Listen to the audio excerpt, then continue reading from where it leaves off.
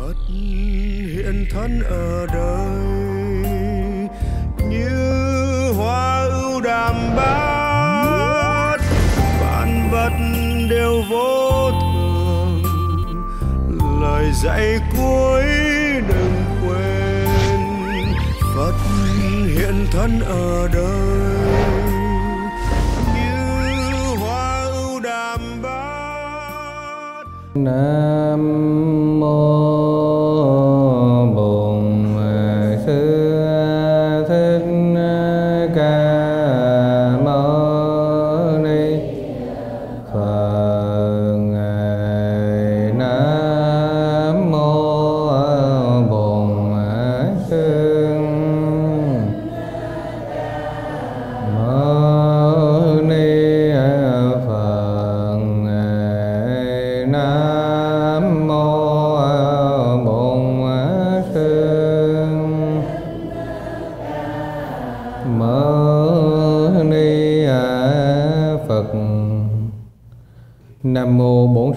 Ca Mâu Ni Phật Tác Đại Chứng Minh. Nội dung Phật Pháp căn bản hôm nay chúng ta tìm hiểu đến bài thứ 10 Bài này có tựa đề là Bốn Đại Tông Chỉ Tác Thành Bậc Thánh. Nếu như chúng ta nương tựa vào bốn đại tông chỉ Thì trong đời này ít nhất chúng ta đi vào hàng dự lưu, sơ quả tu đà hoàng. Mà chúng ta gọi là bốn đại tông chỉ. Bốn đại tông chỉ tác thành bậc thanh đây là một chân lý nghiêm túc. Đây là một à, một à, hành động thiết thực. Không phải chỉ lời nói suông, cũng không phải chỉ mang tính thưởng thức à, mang tính văn tự đáp ứng cái trí tò mò hiểu biết của chúng ta vậy thì kính thưa liệt quý vị, bốn đại tông chỉ đó là gì? Mà nó có thể tác thành bậc thánh cho chúng ta. Chúng ta xét lại mục đích quy y tam bảo của chúng ta là gì? Rõ ràng chúng ta không phải quy y tam bảo để chúng ta bớt đi sự thống khổ, hoặc cầu gia đình hạnh phúc bình an, hoặc là cho cho khỏe mạnh, cho an nên làm ra. Bởi vì tất cả những điều đó đều nằm trong thế giới hữu vi, gọi là vô thường. Hữu vi vô thường đều nằm ở trong thế gian. Thế gian nghĩa là gì? Thế gian nghĩa là bênh hoại này các tỳ kheo. Thế gian gọi là bênh hoại. Bởi vì nó có tính bênh hoại cho nên gọi là thế gian. Và nó bênh hoại cho nên chúng ta luôn sống ở trong những cái nỗi niềm thống khổ, có khi nó khổ một cách khốc liệt, nhưng có khi nó khổ sơ sơ. Nhưng mà đường nào quanh đi trở lại, sự thống khổ này nó hiện ra sáu cảnh luân hồi, thiên nhân atula, địa ngục, ngạ quỷ và súc sanh. Và chúng ta không có muốn khổ đau tiếp tục nữa. Thành ra chúng ta chỉ muốn giải thoát. Như lời đức phật nói này các tỳ kheo nước mắt mà các ngươi đã rơi xuống ở trong vô lượng kiếp bởi những khổ đau, nhiều hơn nước biển của đại dương. Chúng ta đã từng rơi nước mắt nhiều như vậy. Hôm nay chúng ta hãi hùng sự thống khổ đó. Cho nên chúng ta quyết định quy y tam bảo để chúng ta chấm dứt khổ đau. Chấm dứt một cách vĩnh viễn như đức thế tôn đã từng chấm dứt. Và do vậy cho nên chúng ta muốn chấm dứt thì phải có đường đi. Đầu tiên, lý tưởng là quy y tam bảo nhưng chủ nghĩa hành động của chúng ta bắt đầu từ đâu? Đây là điều quan trọng. Từng câu, từng lời, thầy thưa các vị, chúng ta không có thì giờ diễn đạt dài dòng. Hãy nói để chúng ta làm và chúng ta làm có hiệu quả tức thời. Bốn đại tông chỉ này, nó tối quan trọng không phải là điều mà thầy Quyền Châu đặt ra cho diện Phật học Bồ Đề Phật Quốc y giáo phụng hành mà ở đây chúng ta thấy là chúng ta đang đang y cứ vào thánh giáo của Như Lai Lúc bây giờ Đức Thế Tôn của chúng ta đang trụ ở trong vườn cấp cô độc rừng thợ đa thành thất la phiệt. Và bây giờ Đức Thế Tôn bảo các vị tỳ kheo như thế này. Này các tỳ kheo, có bốn pháp những ai chuyên cần tu tập, người ấy được nói là có nhiều tác thành. Những ai chuyên cần tu tập theo, người ấy sẽ có nhiều sự tác thành. Bốn pháp đó là gì? Một là thân cận thiện sĩ, hai là lắng nghe chánh pháp, ba là như lý tác ý, bốn là pháp tùy pháp hành này các tỳ kheo, các ông nên nên học như vậy. Ta nên cung kính nhất tâm thân cận cúng dường thiện sĩ, lắng nghe chánh pháp như lý quán sát nghĩa, lý thâm diệu sâu xa, tinh tấn tu tập pháp tùy pháp hành. Bây giờ đã tóm tắt lại giáo nghĩa này, đức thế tôn nói một bài kệ như sau. Lành thay gặp thiện sĩ đoạn trừ nghi tánh huệ khiến người ngu thành tri. Lành thay gặp thiện sĩ đoạn nghi tánh huệ, người khiến người ngu thành tri. Thế tôn nhấn mạnh lại bằng năm câu nữa, nên gần gũi bậc trí, thường nên gần bậc tri vì gần gũi vị ấy khiến đoạn nghi tinh huệ người ngu thành hiền trí. Đây là điều mà chúng ta thấy quan trọng vô cùng. Tất cả những ai chưa đến với viện Phật học Bồ Đề Phật Quốc, nhất là các vị đã tham gia hai khóa, các vị ngang đây có thể chứng biết hiệu quả giải thoát của chương trình đào tạo từ viện Phật học Bồ Đề Phật Quốc.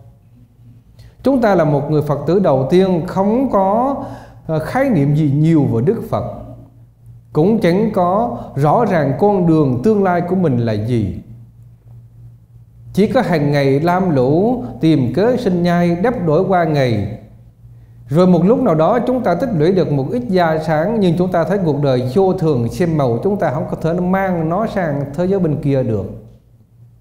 Và chắc chắn là chúng ta sẽ thất bại trước cái chết cái chết nó đến thì cho giàu tỷ phú giàu sang cho đến nghèo hèn đều thất bại. Chúng ta sẽ chẳng làm được gì nữa khi chúng ta đã chết. Thế cho nên chúng ta làm gì trong khi chúng ta còn có thể sống đây? Đây là một câu hối mà mỗi người chúng ta tự đặt ra cho mình. Và các vị đã đến với Bồ Đề Phật Quốc à, sau một thời gian Ở trong tâm của các vị được tưới tẩm, được xây dựng, được trí vẽ được khuân tu dần dần. Và đến ngày hôm nay ít nhiều gì các vị cũng có thể có một số khái niệm à thì ra Đức Phật nói là như vậy. Lời Phật nói là như vậy. Vị thầy vị cô vị Phật tử nào mà nói không có đúng chân lý thì mình không có tin nữa. À, hoặc giả mình cũng biết rằng vị này miêu tả chưa đạt đến cái chỗ giải thoát như chân lý kinh điển. Cho nên á chúng ta thấy nó quan trọng tới mức nào? Thành ra thưa quý vị, ở đây, Chúng ta đã hiểu một cách sâu sắc bài này. Chúng ta cần phải phân tích. Nhưng chúng ta liệu phân tích như thế nào cho phù hợp? Phải chăng những người ăn học ở thế gian có bằng cấp, Trải qua nhiều nhiều trường lớp, Tích lũy nhiều loại kiến thức Trên thông thiên văn dưới tường địa lý? Nhưng có phải là thiện sĩ đối với Phật giáo hay không? Chúng ta liên tưởng tới một vị Bà La Môn tên Lộc Đầu. Phải nói ông có kiến thức uyên thâm, tinh thông, cổ kim. Ông đa năng đa nghệ Gồm thâu nhiều nhiều tài hoa. Chỉ riêng một cái tài lễ của ông thôi ông chỉ cần lấy cái đầu lâu lên ông gõ cốc cốc cốc cốc mấy cái trong cái xương đầu lâu đó. Ông có thể biết đầu lâu này là của nam của nữ chết bao nhiêu tuổi mất cái gì mà chết vì sao mà chết chết xong rồi thần thức sẽ đi đâu. Và hôm đó ông đến tại núi Linh Thứu Ông gặp Đức Thế Tôn. Đức Thế Tôn á, trao đổi với ông về mặt kiến thức. Thành ra Đức Thế Tôn dắt, với, dắt ông đến một cái rừng gọi là là rừng gì? Rừng ma cái rừng đó văn hóa Ấn Độ người ta chết đem bỏ trong rừng. Đây gọi là tục lâm tán. Đem bỏ trong rừng thôi. Do vậy mà lâu ngày nhiều đời thành cánh rừng này toàn là, xương người chết. Và đức thế tôn dắt lọc đầu đến chỗ đó. Thế tôn hỏi lọc đầu đây là đầu lâu của người nam hay là người nữ? Lọc đầu cầm lên gõ gõ mấy cái và nói đây là người nam. Nha. tại sao chết giải thích rất là rõ ràng Nha. người này chết rồi đây sanh vào đâu tu nhân gì duyên gì nếu như lúc đó có người nữ nữa cũng có người nữ ở trong câu chuyện đó có người nữ chết do sinh con không có được và người nữ này á, nếu như được ăn một chút đều hồ tức là một chút dược ờ, dược tháo dinh dưỡng thì có thể là đủ sức khỏe nhưng do yếu quá mà mất mạng rồi thần thức sanh vào đâu? À, người quy tâm bảo thì được được giải thoát an lành. Còn cái người mà không biết quy tâm bảo cơn sân hận nổi lên thì đọa làm ngã quý tất cả những điều đó các vị hãy đọc ở trong kinh tạng nguyên thủy nhất là bộ a hàm có ghi câu chuyện là là nói về lọc đầu như vậy. Nhưng thưa quý vị á, lời của Phật dạy như vậy như vậy những bậc uyên thâm như vậy như lọc đầu cũng đâu có thể là giác ngộ được. Như vậy đó có phải là thiện sĩ đáng để chúng ta cung kính hay không? Đây là một điều nó nhức nhối ở trong đời sống ngày hôm nay. Sao gọi là nhức nhối? Bởi vì phật tử chúng ta không có đủ đôi mắt tuệ để phân biệt đâu là là tên báo mà chúng ta nên nương tựa. Mà chúng ta nghĩ tên xuất gia như nhau, chúng ta so sánh cái thời gian họ ở trong chùa lâu, tuổi họ già hay là trẻ chúng ta nhìn như vậy, làm sao chúng ta có thể thẩm định chính xác được rồi hơn thế nữa, người phật tử chúng ta lại không có không có biết là cần phải phân biệt như thế nào cho phù hợp ở trong thánh giáo của Như Lai mà tự mình hiểu theo cái cách hiểu của văn hóa. Và tất nhiên, mỗi quốc gia có nền văn hóa khác biệt. Cho dù một dân tộc lạc hậu đến mấy, họ vẫn có nền văn hóa riêng. Như vậy thì Phật giáo biểu hiện trong nền văn hóa đó và tất nhiên chúng ta nhìn dưới lên kính văn hóa, chúng ta sẽ hình dung Đức Phật nói như vậy và chúng ta nghĩ rằng Đức Phật nói như vậy, nhưng nào Đức Phật có nói như vậy đâu. Cho nên chúng ta thấy hôm nay mình may mắn được tiếp cận bộ Pháp Uẩn Túc Luận là giáo nghĩa do tôn giả một kiền liên, là đại đệ tử của Đức Thế Tôn. Ngài sống thân cận với Đức Thế Tôn. Những gì Đức Thế Tôn dạy Và hiểu đến đâu rõ ràng, Được xác định cái hiểu như thế nào, Thì tôn giả một kiền liên Là người ghi chép, Giải thích để chúng ta hiểu. Và hôm nay chúng ta y cứ vào Lời luận giải của tôn giả một kiền liên định nghĩa như thế nào là một thiện sĩ mà chúng ta gần để chúng ta trở thành một người tri trở thành một người một người hiền thánh. Chúng ta nói điều này là một sự nhấn mạnh nghiêm túc. Bởi vì sao? Bởi vì nếu chúng ta nhầm lẫn điều này, thì chúng ta sẽ rơi vào tình trạng là thế hệ trước truyền trao cho thế hệ sau kiến thức mà không truyền trao sự thực chứng. Bản thân chúng tôi là một nạn nhân ở trong một nền giáo dục truyền trao kiến thức. Chúng tôi đi học bắt buộc phải nhớ rất nhiều thứ mà những thứ đó chỉ gây chướng ngại cho người giải thoát mà thôi.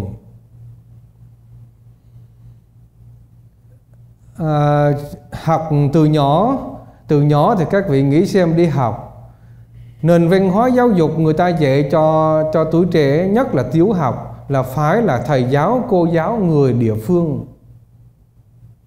Như chúng ta biết người Mỹ Nam Bắc họ phát âm tiếng Anh cũng khác nhau phải không? Ờ, ờ, và cứ thế mà đem một cái bà cô giáo người quán trị vào ở trong Bình Định dạy cho thầy lúc đó thầy học lớp 3 mà cớ lại cho các vị nghe tới bây giờ nó không còn giận. À, bà đọc chính tả và bà nói rằng á con cọp chầm chầm chầm xuống hang. Mình viết mình viết y chang con cọp viết chậm chậm chậm xuống hang cô nói, không phải không phải. Mình nhìn mặt thì không biết chuyện gì xảy ra. Tại sao lại không phải? Cô đọc rõ ràng, con gọp chậm chậm chậm xuống hang. Bà cô giáo trước đọc mình là con cọp rồi chấm ba chấm xuống hàng cô này đọc là con cọp chậm chậm chậm xuống hang. Thế là mình viết y chang cô nói không phải không phải mình hiểu tại sao không phải. Cô đọc rõ ràng như vậy chính ta nghe đọc mà. Các vị nghĩ xem là lúc nào đi giờ cái ngày nào bình thường là giá cái con trứng ngỗng gì à còn không là chống cây gậy. À, không là giết con vịt số 2 đó. À, trong lắm trong lắm được cầm cái cầm số 8 không bao giờ có. Nó nản vô cùng. Mình nghĩ mình đầu ép cũng được mình cũng nhớ đàng hoàng mình cũng lên lì hơn bạn bè. Mà tại sao mình học lúc nào cũng điểm thấp hết? Nó chán nó nản không có muốn học nữa. Đó là nạn nhân của nền giáo dục. Mỹ rất hay. Họ dạy là ở địa phương trên ít là cô giáo địa phương. Lớn lên chương trình cử nhân bắt đầu mới thay đổi những cái cái, cái sắc âm khác nhau bởi vì con người lớn đủ sức phân biệt. Và thế là mình xây sang cái hướng là học cái gì? Học toán lý hóa học toán mà. Đầu óc nhanh nhớ mình đam mê toán sau này mình nghĩ làm toán cũng được không cần làm việc khác. Nhưng mà chuyện này xảy ra. Tới khi lớn lên rồi đi xuất gia tu học rồi mình không biết diễn đạt Phật pháp. Mình viết không nên. À, một trang giấy 10 lỗ chính tả là chuyện thường. Lúc bây giờ mình thấy xấu hổ quá xấu hổ quá phải thay đổi phải chỉnh đốn lại sau khi học Phật học 8 năm rồi, bắt đầu là là thấy bây giờ mình ờ, mình không học đại học, người ta nói mình vô. Thôi bây giờ ráng ghi danh học đại học. Đi học chuyên môn toán lý hóa, bỏ 8 năm học đạo, quay lại đại học học văn sử địa. Đọc đáo vậy chứ. Đi học toán lý hóa mà thi văn sử địa, biết gì mà thi? Thế là phải học bài rồi chui vô trong phòng thi nó ra một cái đề thi sống của Xuân Quỳnh. À, sống bắt đầu từ gió gió bắt đầu từ đâu ta cũng không biết nữa khi nào ta yêu nhau. Trời ơi em cũng không biết nữa khi nào thấy yêu nhau yêu gì mà coi sát đó mới mình động trạp là vô đây bao nhiêu chi? Hơn mình thấy mình đi tu tự nhiên mình vô đây mình mình biết cái gì trong này mà mình ngồi mình phân tích mình khen mình chơi mình này kia rồi mà nói cái bà này, bà dở hơi, bà điên rồi. Bà khi nào yêu nhau bà không biết. Ai mà nói bà làm vợ là xui xẻo. Trong đầu mình nó cứ nó nó duy lý, nó thực chứng ở trong cái cái cái cái cái pháp hiện thực của Phật pháp. Chúng ta thấy nó khốn khổ vô cùng. Vậy mà phải ráng mà thi thi tất nhiên là rớt rồi. Sao đậu được? Rồi giờ cái bước đầu bước cổ, tại sao mình cũng được mà sao thi rớt ta? Các vị thấy khốn khổ vô cùng không? Rồi bắt đầu lại vô uh, vô học ừ, Phật Phật học thì lúc đó nhắm không xong rồi không ổn rồi. Bây giờ bắt đầu lặn lội đi tìm những cái vị thầy thực chứng. Quyết định tìm những vị thầy thực chứng. Và trong một cái xã hội mà có nhiều vị thầy có năng lực tu tập có những cái sở học sở hành nghiêm túc họ là những bậc thầy giáo dục. Nhưng mà xã hội ấy không cho phép họ thi triển khả năng hướng dẫn dạy dỗ. Do đó, cho nên tài hoa của họ trở nên mai một. Và lúc đó, trong cái lứa của thầy, rất ít những người như thầy. Bắt đầu đi tìm kiếm những vị như vậy. Không sợ gì hết, chỉ có sợ mình không hiểu giáo pháp. Và nhờ đó mà đi cầu cái sự thực chứng. Và thưa quý vị, trải qua một thời gian nắm vững và thông hiểu cả kinh tạng nguyên thủy và đại thừa. Ngày hôm nay, thầy Huyền Châu có thể tuyên bố được điều này. Trước đây nói thì không dám, nhưng bây giờ dám nói rồi. Sau hơn ba chục năm nghiền ngẫm từ kinh tạng nguyên thủy Bali, trên ba ngàn bài kinh của Hòa Thượng Minh Châu dịch, đọc kỹ nhiều lần, biên chép ghi chú từng câu, từng chữ. A Hàm đọc đàng hoàng nghiêng ngẫm nhiều lần. Tất cả các bộ kinh đại thừa đều đọc hết. Tra cứu phản hán nhật đôi chiêu. Và từ sơ cấp trung cấp à, lên tới cao đẳng đại học một giáo trình tại viện Phật học Bồ Đào Quốc nữa. Thì lúc bây giờ nó hình thành ở trong tâm chúng ta có một cái bức tranh về Phật giáo có một cái nhìn tổng quát và đầy đủ và mới liễu ngộ được những giá trị giải thoát mà Đức Phật dạy trong kinh. Cho nên thưa quý vị, chúng ta không khéo sẽ rơi vào tình trạng là gì?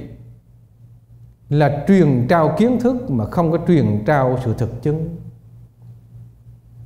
Truyền trao thực chứng là khi nào nó có cái chuyện xảy ra, chúng ta sẽ nhìn thấy người đó họ tác ý theo kiểu gì. Tác ý theo kiểu gì đó chính là cái hành nghiệp của người đó cái hành nghiệp đó nó sẽ dẫn người ta tới chỗ đọa hay là chỗ giải thoát. Còn ở trong trường học, chúng ta chỉ dựa trên chữ nghĩa và có những cảm thọ văn tự. Đây chính là sáo ngữ. Nó chỉ có phát họa một chút xíu mà thôi. Trước tiên dựa vào nó, nhưng sau phải là tìm kiếm sự thực chứng. Thành ra khi mà người ta truyền trao kiến thức thì người ta vẽ lên đó bằng cấp và người ta tôn vinh bằng cấp để rồi người ta bị kiết sử và chết theo bằng cấp còn học trong sự thực chứng, đây mới là giải thoát sanh tử. Những điều này rất là quan trọng, thưa đại chúng. Cho nên chúng ta phải tìm cho mình một vị thiện sĩ mà đỡ thân cận. Vậy thì thiện sĩ có những phẩm đức gì? Y theo lời phật dạy, y theo luận giải của tôn giả một kiền liên chúng ta thấy ngài nói như thế này. Thiện sĩ ở đây được hiểu đó chính là phật và đệ tử của phật. Chỉ có phật và đệ tử của phật ngoài ra không phải. Tại vì sao? Bởi vì ngoài ra họ không phải đệ tử của phật. Tất nhiên họ không bao giờ hiểu được lời phật nói cái gì. Phát nguyện trở thành đệ tử của phật mà chúng ta chưa hiểu được lời phật dạy một cách chính xác nếu như một người không phải đệ tử của Phật, Làm gì họ hiểu được lời Phật dạy? Ngược lại cũng như vậy, Chúng ta cho dầu đọc bao nhiêu thánh kinh, Làm sao chúng ta có thể hiểu được thánh kinh Bằng một vị giáo dân Hoặc là hoặc là một đức cha? Bởi vì họ có cái niềm tin về lĩnh vực đó Và họ chiêm nghiệm, Họ sống với nó. Cũng như vậy, Người không phải Phật tử Không bao giờ hiểu được lời Phật dạy. Hay các bố đẹp giả la đầy đủ giới đức? Chữ bố đẹp giả la ở đây chúng ta hiểu là gì? Là một tự ngã về mặt triết học. Nhưng chúng ta hiểu xa hơn một chút là một nhân cách định hình. Và xa hơn một chút là gì? Là một phạm hạnh thánh hiền được hình thành trên nhân cách của lợi của Phật dạy, mà gọi là từ miệng Phật hóa sinh cha mẹ chúng ta cho chúng ta đôi mắt phân biệt được màu sắc hình hài. Nhưng đức phật cho chúng ta đôi mắt nhìn và hiểu biết được cuộc đời, hiểu biết được cái tiến trình giác ngộ. Thành ra ở đây, chúng ta xem thiện sĩ là gì, là bố đẹp già la đầy đủ giới đức không có tỳ vết. Bởi vì sao? Bởi vì nếu như giới đức mà có tỳ vết người ta sẽ giải thích làm sao để cho tỳ vết của họ được chấp nhận. Đây là điều mà chúng ta phải cẩn thận. Thưa với đại chúng, ví dụ như một chữ tân tinh của nhật bản, các vị nghĩ như thế nào? Trong đầu của một vị tân tinh, tất nhiên về mặt kiến thức phân biệt dối hơn, thậm chí dối hơn những người tu hành bình thường. Dối hơn. Họ dối cũng như một vị giáo sư đứng trên giảng đường đại học. Chứ làm sao? Họ sống với một đời sống vợ con gia đình Mà tác thành phạm hạnh giải thoát được. Bởi vì trong tâm của họ bị quấn chặt bởi ái nhiễm. Mà ái chính là là nguyên nhân gốc rễ của sự thống khổ. Thì làm sao gọi là phạm hạnh thanh tịnh? Nhưng vì một giai đoạn lịch sử nào đó ở tại Nhật Bản Minh Trị Thiên Hoàng đã gây áp lực buộc tất cả nam nhân phải tham gia chiến tranh toàn cầu. Cho vậy mà họ tàn phá phạm hạnh của các vị sư. Đến rồi các vị vua con và cháu phục hồi phục hồi Phật giáo trở lại, thì cần những vị có hiểu biết này dạy dỗ kiến thức cho những người, cho những người đi theo sau buộc họ phải đặt ra một chữ, đó là tân tăng và những gì mà ai giữ gìn được gọi là cựu tăng thì chúng ta phải hiểu đó là văn hóa của Nhật Bản. Chứ chúng ta đừng nghĩ là ông tăng cựu là ông tăng trước, ông tăng tân là ông tăng sau, ông tăng mới. Như vậy thì tăng là là thanh tịnh, làm gì có cái chuyện á là tăng mới tăng cũ. Tăng là thanh tịnh hay không thanh tịnh? Hoặc là hoặc là gì? Hoặc là trong sáng hay là ô nhiễm, chỉ có hai màu sắc đó thôi. Đúng chưa? Khi chúng ta hiểu như vậy là chúng ta sẽ thấy khác. Còn nữa, còn nói rằng là đạo Phật gốc với đạo Phật ngọn. Nói vợ ghét không? Cái cây mà nó chia làm gốc với ngọn. Cái cây mà có gốc không có ngọn lại cây gì? Cây khô, chứ không có chết. Cây khô. Còn cái cây mà có ngọn không có gốc làm sao mà nó có được? Cho nên vậy mà chúng ta cũng bám víu vào những cái luận lý điên đảo, chúng ta không hiểu gì cả. Như vậy, ai giúp cho chúng ta thấu hiểu? Đức Phật nói pháp giải thoát, chứ Đức Phật không có nói để chúng ta biến thành tông phái. Tông phái đó là hình thành trên cơ sở cơ sở gì? Cơ sở tương đồng và tâm sinh lý của hữu tình phàm phu.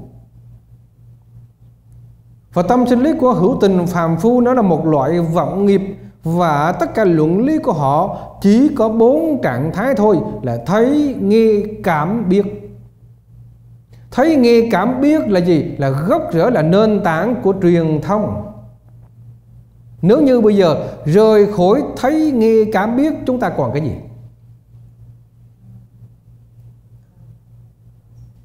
Còn cơ sở văn hóa, còn cơ sở ngôn ngữ, còn luận lý nào đó tồn tại trên một thế giới mà không còn thấy, nghe, cảm biết nữa hay không?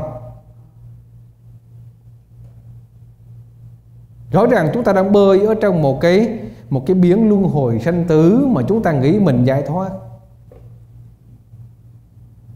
Cho nên chúng ta làm sao thực chứng được điều này? Nương vào thấy nghe cảm biết, chỉ là một loại phương tiện tạm thời vừa ngữ ngôn, để chúng ta dĩ huyễn đổ chân đến bờ bên kia. Bởi vì trong tướng giáo nghĩa của Phật là gì? Là loại giáo nghĩa siêu việt ngôn ngữ. Siêu việt ngôn ngữ dẫn một câu kinh nguyên thủy. Khi Đức Phật mới vừa thành đạo, Ngài khởi lên ý nghĩ như thế này. Những gì mà ta chứng biết, Những gì mà ta thấu hiểu, Ta đạt được, Nó siêu việt ngôn ngữ. Còn trong khi thế gian phàm tình Đều dựa trên ngôn ngữ nói năng mà luận bàn. Dựa trên ngôn ngữ nói năng để mà Mà hiểu biết và trao đổi. Và đặc biệt, chúng sanh hữu tình đều gì đều chìm đắm ở trong ái nhiễm. Vậy thì làm sao có thể hiểu được chân lý siêu việt, những cảnh giới vượt khỏi ngôn ngữ mà ta chứng đắc đây. Đem điều này đã trình bày không khéo, nó phản tác dụng. Nghĩ tới đó, tâm của thế tôn đi vào trạng thái là thụ động, không muốn thuyết pháp. Đó là kinh tạng như thị ghi rất rõ. Và lúc bây giờ may thay, Phạm Thiên mới hiện thân nói rằng Bạch Đức Thế Tôn, Ở trong thế giới phàm phu này Cũng có một số hữu tình ít nhiễm bụi trần. Nếu như họ không nghe được giáo pháp của Ngài, Thì họ sẽ rơi vào cái gì? Vào cái khốn khổ lâu dài. Bởi vì Pháp của Phật là Pháp bất tử. Là con đường liễu ngộ sanh tử. Mà họ không được nghe, Mà họ phải chết đi, Họ phải tiếp tục đầu thai, Thì bao giờ họ gặp được giáo Pháp này? Những người như vậy sẽ gặp sẽ gặp tai họa lớn ở trong kiếp luân hồi. Từ đó mà Đức Thế Tôn khởi cái ý nghĩ là đi hoành pháp đi đi giảng nói giáo nghĩa bất tử của ngài. À, như vậy chúng ta thấy tất cả ngôn ngữ nói nên chỉ là phương tiện tạm thời và chúng ta hãy đạt ý quên lời đừng có bám vào trong ngôn ngữ đừng có bám vào cái việc mà phân chia nam bắc. Bởi vì phân chia Nam Bắc đó là hai cái hướng Nam và hướng Bắc của Ấn Độ Đó là cái hướng tự nhiên di chuyển của con người. Còn giáo nghĩa của Phật không có Nam không có Bắc.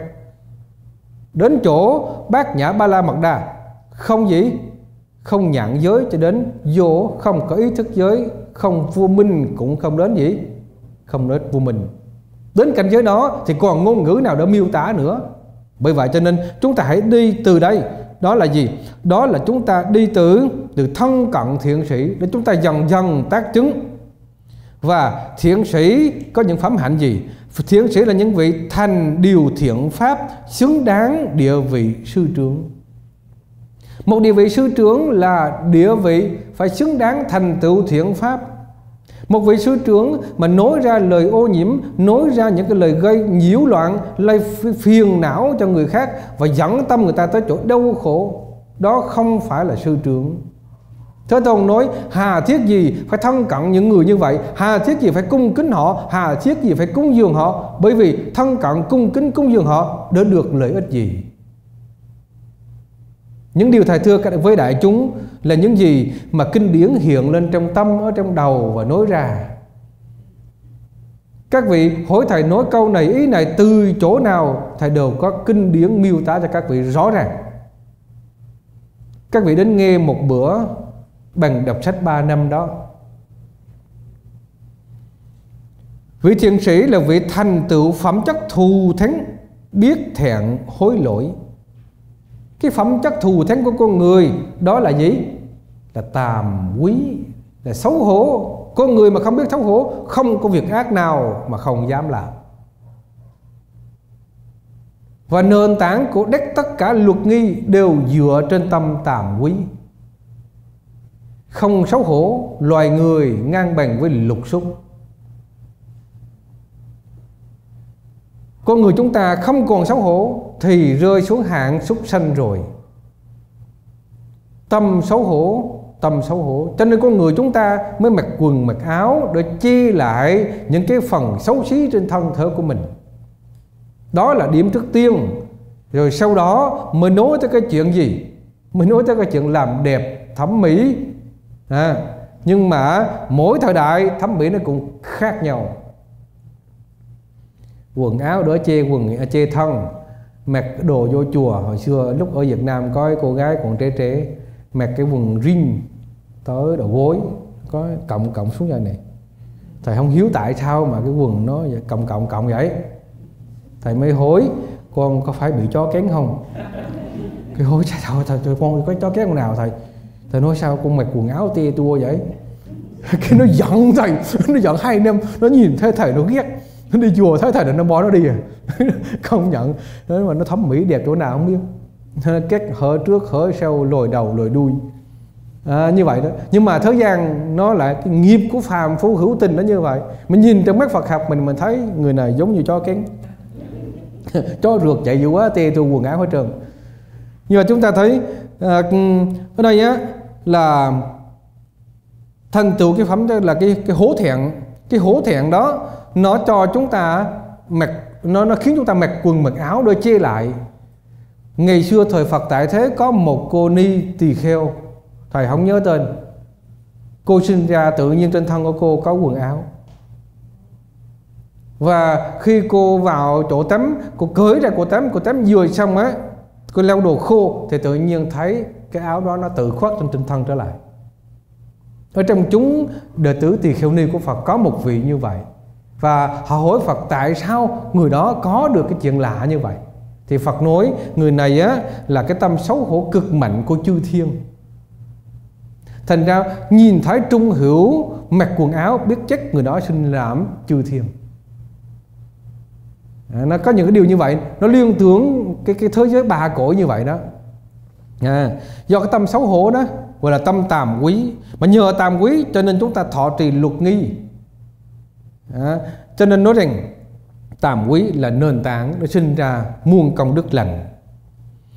Và như vậy đó cũng là đức tính của thiện sĩ. Thiện sĩ còn còn đức tính gì nữa thưa quý vị? Thiện sĩ còn đức tính là khéo giữ gìn các căn và học xứ.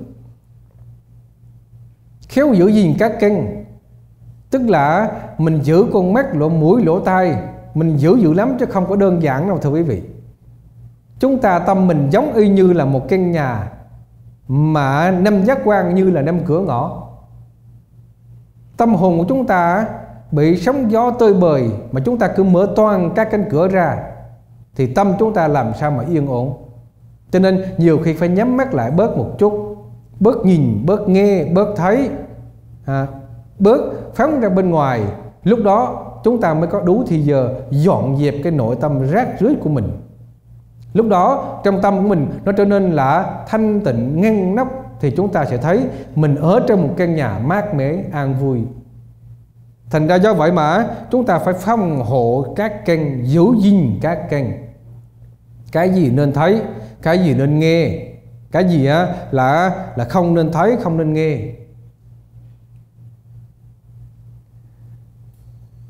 Có những trường hợp có những trường hợp mà mình thấy mình thấy người ta như vậy người ta nói dữ quá người ta hung dữ quá mình bỏ mình đi. Đó là mình biết phòng hộ mình phòng hộ. Ngày xưa lúc thầy còn trẻ thưa các vị ở bình định mà người ta quấn dữ quá cho nên mình cũng đi học võ. À, học một chút võ nghệ để phòng thân.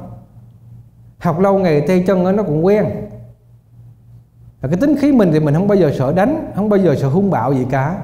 Tại vì à, tập mà cứ đánh qua đánh lại nó quen rồi đó tự nhiên nó thành cái nghiệp.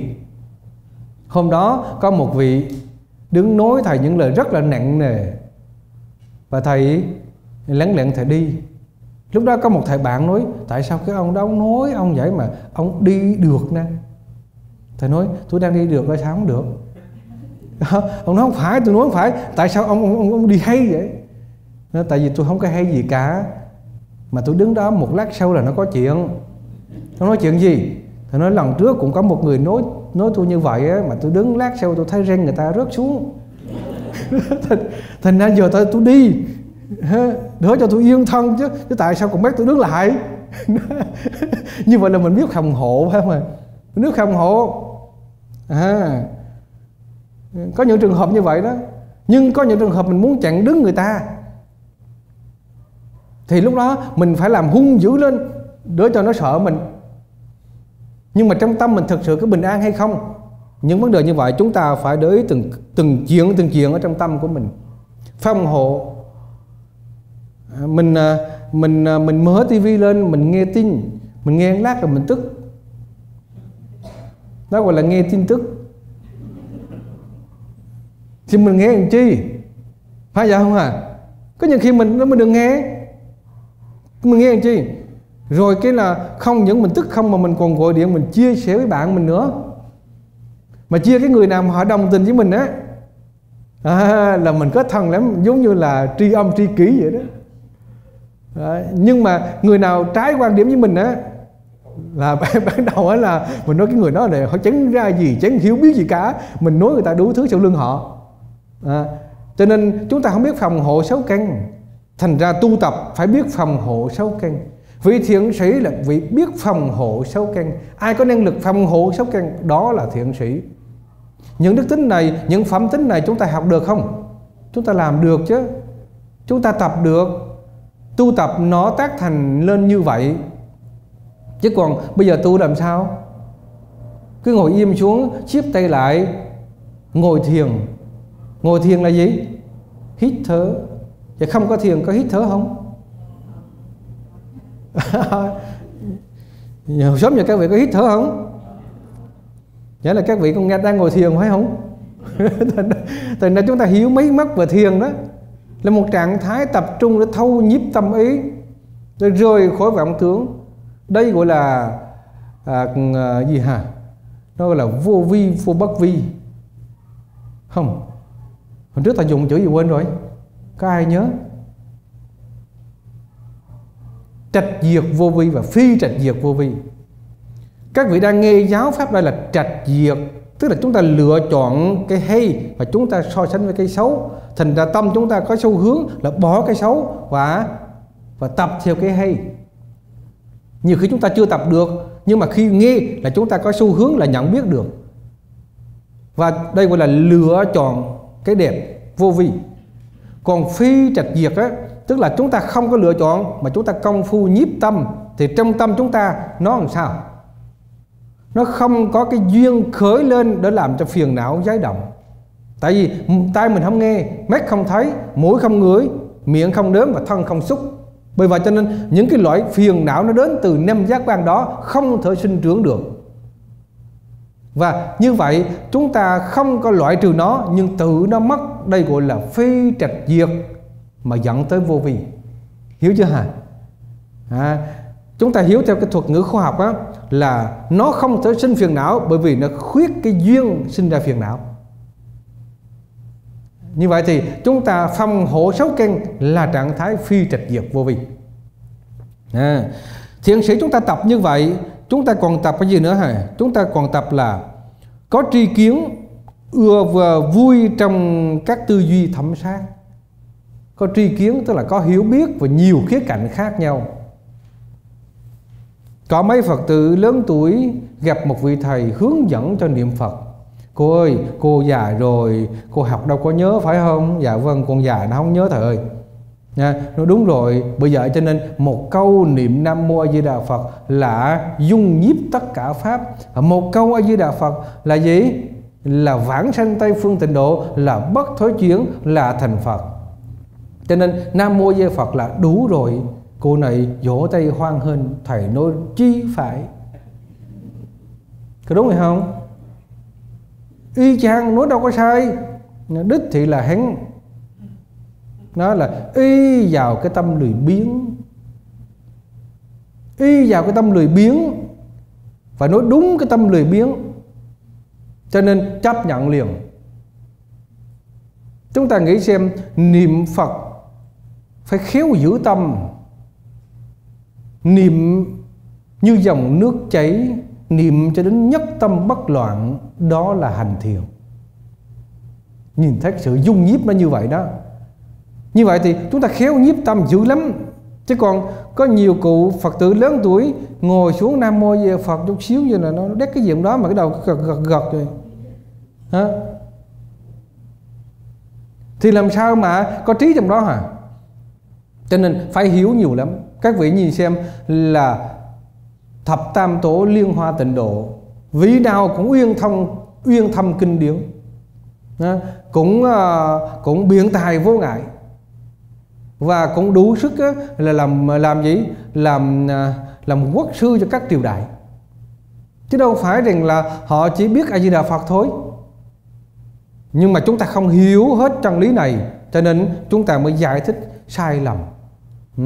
thành ra do vậy mà chúng ta hiểu rằng á, một người thiện sĩ là một người có tri kiến vui trong tư duy thẩm sát. Tư duy thẩm sát, hiểu ra một điều đó mình vui lắm. Rồi gì nữa? Vị thiện sĩ thích tư lương phân biệt ưa quan sát. Quan sát để thấu hiểu, Cẩn thận, không có dội vàng kết luận. Bản tính thông mẫn đủ các giác tuệ Tức là đủ sự phán đoán.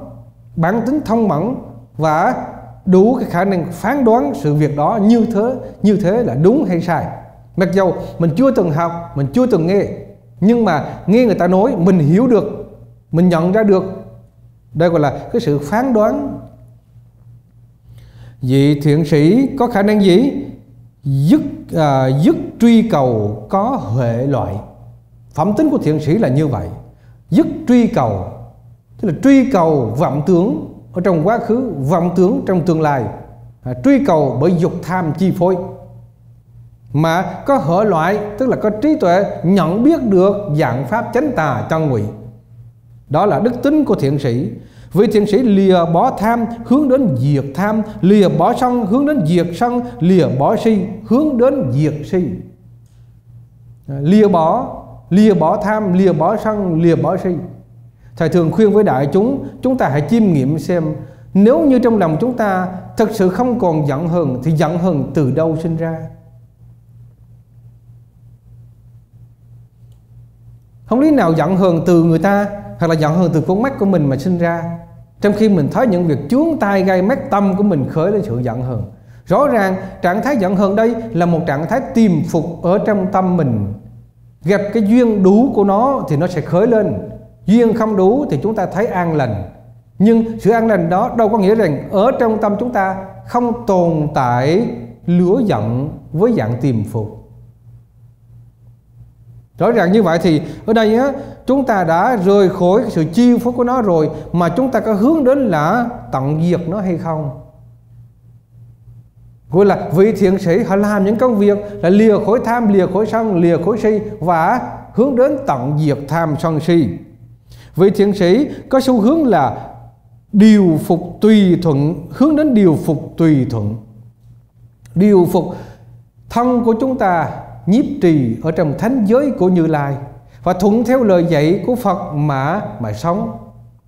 Đức Phật dạy như vậy mình ráng làm theo, Đức Phật không dạy hoặc là Đức Phật quơ trách mình ráng từ bỏ. Mình không có tìm cái lý do chống trái.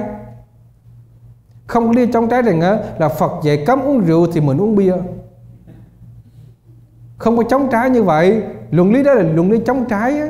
À, còn đây Phật dạy cấm uống rượu là tự nhiên mình hiểu là tất cả những cái thứ nó dẫn tới nghiện ngập say sưa khiến cho mình mất nhân cách. Vị thiện sĩ sống một đời sống tịch tịnh, hướng đến tịch tịnh. Tập một đời sống tĩnh lặng của tâm, hướng đến sự tịch lặng của tâm và giải thoát, hướng đến giải thoát siêu việt, hướng đến siêu việt. Vị thiện sĩ diệu giác, hướng đến diệu giác niết bàn, hướng đến niết bàn, vui trong sự điều phục tùy thuận chân đế vui trong một đời sống càng ngày càng thấm nhập Phật pháp, càng ngày càng sống gần với hạnh của Phật và của Tổ. Chúng ta tu tập, chúng ta rất là cô đơn, nhưng chúng ta hoàn toàn không cô độc. Con đường của chúng ta từ đây cho đến cõi Phật, có vô lượng chư Bồ Tát, vô lượng thánh hiền đã đi qua. Và trong vũ trụ hà sa này có vô lượng hữu tình đang hướng đến sự giác ngộ con đường chúng ta không có đơn độc chút nào. Nhưng rõ ràng, mỗi người chúng ta tu tập phải chấp nhận sự cô đơn. Còn không cô đơn thì khó mà tu. Không cô đơn đi tìm người tâm sự loài chim biến thì làm sao mà, làm sao mà tu được, phải không à? Thành ra chỉ có cô đơn một mình mới tu được. Hãy nương tựa mình, nương tựa pháp, đừng nương tựa nơi nào khác hãy thắp sáng mình, thắp sáng bởi pháp, đừng thắp sáng bởi cây khác. Thắp sáng bởi danh, bởi lợi, bởi tiền tài, bởi tất cả mọi thứ, hào quang thành bại của thế gian. Chúng ta không thể sáng được, bởi vì đó là cảnh vô thường. Pháp, Phật là cái pháp tĩnh lặng, pháp niết bàn, pháp diệt trừ, tận diệt tất cả sự thống khổ. Lìa bỏ, thuận theo chân đế là như vậy, thuận theo lời Phật dạy là như vậy vị thiện sĩ lìa bỏ kiêu mạng và phóng dật. Kiêu mạng nó dữ lắm. Mình ngang với người ta mà nghĩ mình hơn. Mình thua thật nhiều mà nghĩ thua ít. Nó là vậy đó. Người ta đúng tới chín điều, người ta sai có một điều thôi. Mà ngay cái điều đó là mình đúng hơn người ta. Lúc đó mình tha hồ mà vên váo. Phải không hả? À?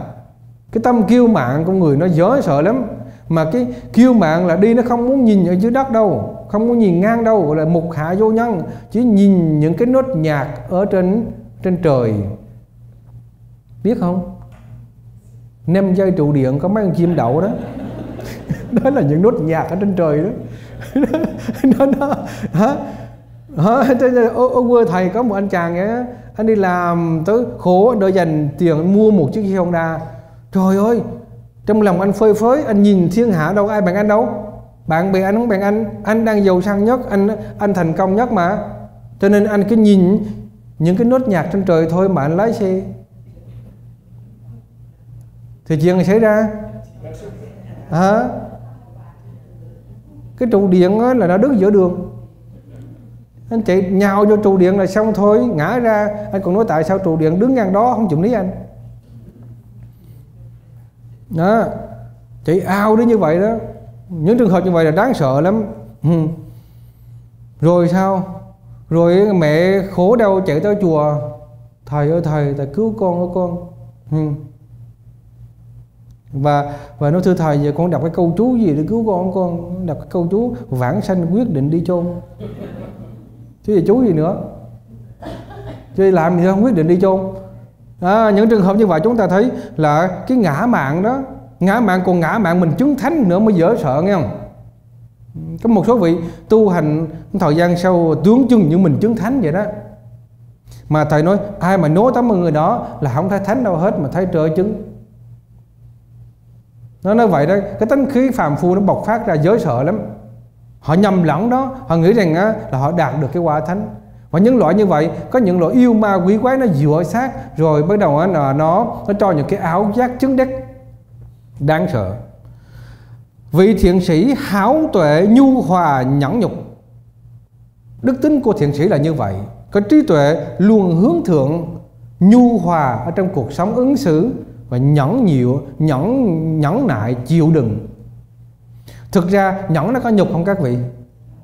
Không có đâu, nhẫn có nhục đâu. Nha, nhẫn là trượng phu. Nhẫn là trượng phu. Người ta chửi mình một câu mình chửi lại 10 câu cho nó hết dám chửi lại. Mình làm như vậy có có có có không cần tu mình cũng làm được phải không ạ? Không cần không cần ngồi thiền không cần công phu không học pháp hỗ trợ mình cũng làm được. Người ta đánh mình một cái mình đánh lại một cái có gì khó khăn đâu. Không có gì khó khăn. Nhưng mà người ta đánh mình mình không đánh lại người ta chửi mình mình không chửi lại. Như vậy đó là trường phu phải tu có một cái nội tâm chịu đựng có một cái nội tâm có trí tuệ vượt thắng mình mới bình thản tự nhiên được ở trong bối cảnh đó. Vậy thì ở đây rõ ràng là nhẫn là trường phu cho chẳng nhục chút nào. Rồi vị thiện sĩ thẳng tiến trực đạo à, tức là tu tập thẳng tới đạo quả vô thượng bồ đề chứ không có hẹn rầy hẹn ma gì cả ừ. rồi gì nữa? Nói là thưa thầy con con con con con con rất là muốn đi học đạo nhưng khỏi cần nhưng nhị gì cả? Ở nhà đi. Cái con, con này giận quá. Nói nói giận với ông thầy. Ờ, chưa kịp nói về cái ông nạt nộ ông thèm nói nữa. Nó nói tại sao không nói thầy con biết rồi. Có đúng ngày không à tại nhưng là xong rồi. Còn nói gì nữa đâu nói chuyện cho dài để thầy làm việc khác. Nhưng quá thật nó là như vậy đó quý vị. Tại vì á đưa nói hay lắm nói cái miệng hay lắm, nhưng mà cái lý do gì các vị biết không? Cái lý do vơ vẩn chút xíu á, là con của con nó ẻm đứa cháu nó gửi. Chút xíu vậy thôi, mà cả một cái đạo giải thoát, cả một cái sự chuẩn bị miêu tả y như là tất cả cái sự nỗ lực quyết chí không bằng. Nhưng mà những cái lý do nhỏ nhỏ như vậy đó. Rồi, có những cái chuyện vớ vớ vân vân khác nữa. Hmm thương quá thương ông chồng thương ông chồng già. Ngồi ở nhà ngắm ông sợ ông chết rồi kiếp sau làm sao? Sao gặp nhau? Nói nó, nó nó hơi đụng chạm nhưng mà chúng ta thấy cái trách nhiệm vợ chồng cuộc sống nó ràng buộc. Một người chồng hiếu đạo là người chồng khuyến khích vợ mình đi học đạo. Mình tự lo cho mình nếu như mình không học nổi. Còn người vợ cũng vậy biết vô thường đã đến rồi. Bây giờ đây mình tìm cách giải thoát. Mà mình còn lơ là nữa mình còn quanh quán vào những cái trách nhiệm thường tình nữa thì bao giờ mình giải thoát đứng trên phương diện hạnh phúc của gia đình thế gian những điều chúng ta làm như vậy hoàn toàn không có sai. Nhưng đứng ở trên cái nhìn của sự giải thoát giác ngộ thì chúng ta là người vô minh đang lãng phí cái sự tồn tại của kiếp người.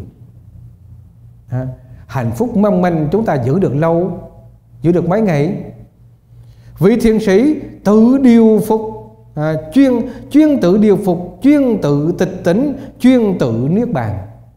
Phẩm tính của thiền sĩ là như vậy. Và vị thiện sĩ vì gì? Vì sống một đời sống nuôi thân ở thế gian mà đi vào trong làng xóm khất thực. Chỉ cho hạnh giải thoát của một vị tỳ kheo. Vị thiện sĩ sống đầy đủ như vậy. À, đầy đủ như vậy tức là thọ nhận à, cái thực phẩm của thế gian để hoàn thiện nhân phẩm của mình hoàn thiện sự giải thoát của mình hoàn thiện cái phẩm đức giác ngộ của mình. Vị thiền sĩ sống tạm bỡ ở thế gian là như vậy. Còn ngoài ra vị thiền sĩ tự điều phục bản thân của mình để đến với quả vô thượng bồ đề chứng đắc niết bàn.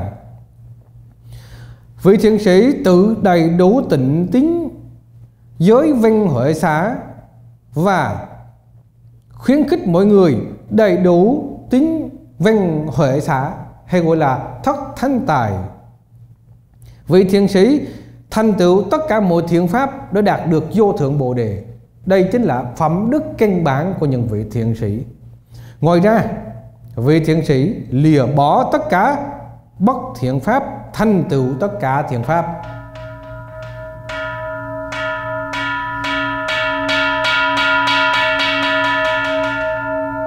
Chúng ta nghe chút xíu nữa.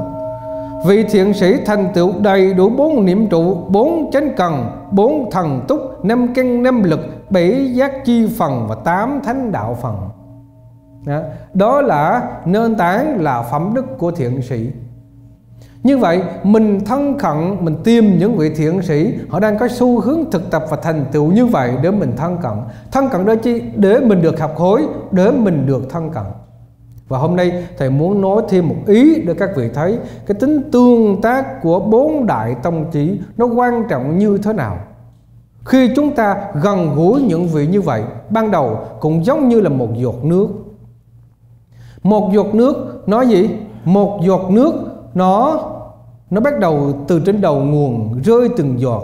Nhưng những giọt nước này được rơi nhiều ngày, nó sẽ lấp đầy suối nhỏ, lấp đầy sông nhỏ lấp đầy sông lớn và tràn lấp cả đại dương. Chúng ta bắt đầu từ thân cận thiện sĩ. Thân cận thiện sĩ để chúng ta thành tựu những điều này. Thân cận thiện sĩ để chúng ta lắng nghe giáo pháp. Lắng nghe chánh pháp. Lắng tai mà nghe không nghe hời hợt. Lắng mà nghe, gọi là lắng nghe chánh pháp để chi để như lý mà tác ý như lý đó mà hiểu biết chân chính, và từ đó mà hành động chân chính theo. Đây gọi là pháp tùy pháp hành. Muốn có pháp tùy pháp hành một cách vững chắc, không sai lệch, thì phải phải sao? Phải như lý mà tác ý. Muốn như lý mà tác ý thì phải sao? Phải lên nghe chánh pháp. Muốn lên nghe chánh pháp thì phải sao? Phải đi học Phật pháp. Có đúng gì không quý vị? Đó nền tảng của nó là như vậy. Bây giờ nền tảng như vậy để nó dẫn mình tới là tác chứng tác chứng gì? À, tác chứng phẩm hạnh của bậc thánh mà chúng ta gọi là gì hả bốn đại tông chỉ tác thành bậc thánh. Bài số 1 chúng ta tìm hiểu về nội dung thân cận thiện sĩ.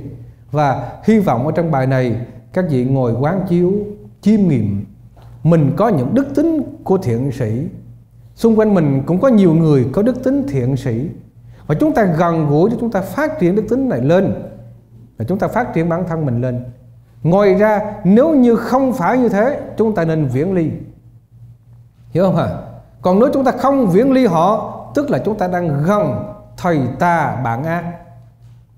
Chúng ta tự hiểu được tính nguy hiểm của thầy tà bản ác, hại chúng ta như thế nào trong kiếp luân hồi chúng ta hãy hiểu một cách nghiêm túc như vậy, đừng có đừng có xem thường điều này. Tuy thầy sợ các vị mệt thành ra thầy nói có chút hài hước, nhưng cái sự nghiêm túc ở trong này là không có thiếu. Chúng ta phải trân trọng giáo pháp của như lai để hành trì. Cảm ơn các vị lắng nghe, chúng ta dừng ở đây. Nguyện đêm công ờ, đức ờ, này.